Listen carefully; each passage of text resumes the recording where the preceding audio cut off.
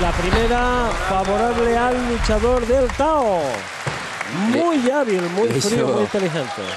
Como una especie de vacío. Fue jalada quitándose y lo, y lo dejaba con la rodilla en el suelo. A luchador del Guadalfía. Un veterano ya de- del equipo. Víctor González, el puntú primero. Sí, Ahí fue quitándolo y hasta que lo llevó a la arena. Un vacío. Qué agarrada más curiosa, ¿eh? No,